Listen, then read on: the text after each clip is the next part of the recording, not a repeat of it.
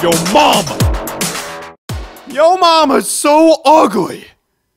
When she joined an ugly contest, they said, Sorry, no professionals!